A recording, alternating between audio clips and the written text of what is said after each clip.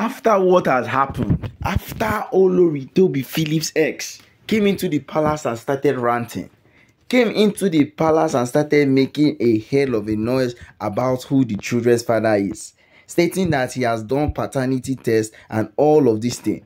Well, Ooni himself had to make, make a decision. It is either he went on with his plans, or if at all he's not going on with that, he himself should make sure that everything is going the way he has planned. Because he, he doesn't want anybody at all not even in a very very simple position to put him off guard.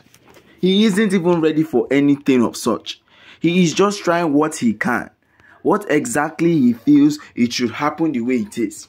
And as of now he is ready to take similar actions against anybody that dares lie against him. So guys good morning good afternoon and good evening depending on when and where you are actually watching us from this is Royal Updates TV will bring you top gist from the entertainment industry and also from the Ooni of Ife Palace.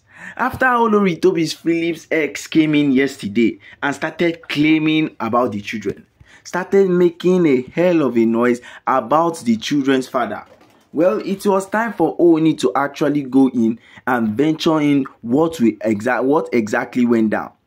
What happened because he was not too pretty sure because he has been hearing a lot of rumors about Tobi Phillips and the man.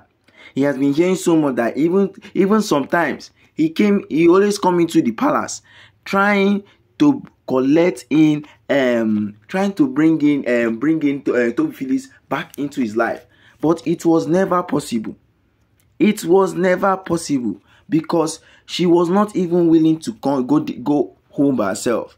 She felt Ooni was the safest option she could ever get. That is why she she's still in the palace of Ileife. That if not because of that, she would have left a long while ago with him. But Ooni himself needed to confirm. And he needed somebody that is very reliable. Not just any type of doctor. Not just a doctor you go to in a hospital. You need someone who you can trust. He needed someone who you can rely on. Staying saying saying that if at all things like this will happen, he will know okay, it is very very true. His friend can lie to him. All those type of things. Now, Ooni now went on and did the test. Well, a very very wonderful thing is that the test came out negative. That Ooni himself is the father. So I'm not imagining what exactly is this man trying to play with us? Why exactly is he looking for a way to actually distance Ooni from Tobi Phillips?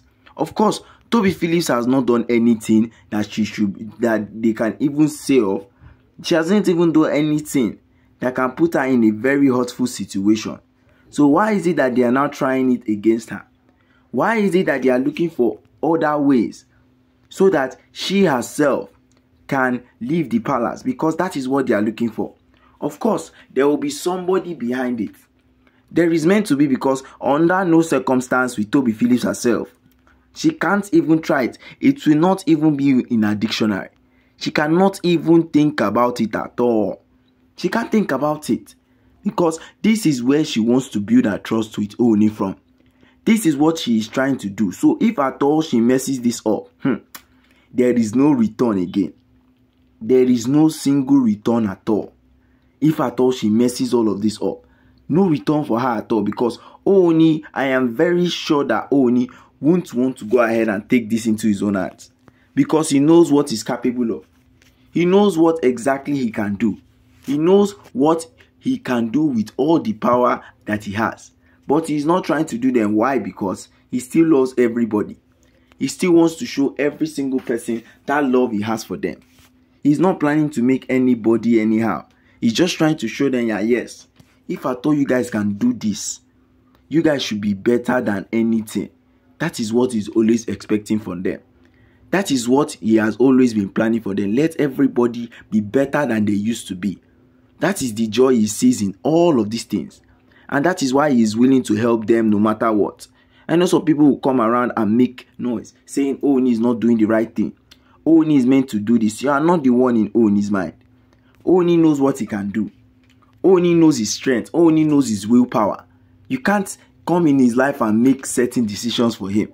Ooni himself knows what exactly he's doing, so you don't have to say anything at all. Once he's making a decision, let him continue making that decision because it will get to a point whereas Ooni will now start to take actions, severe actions against those people.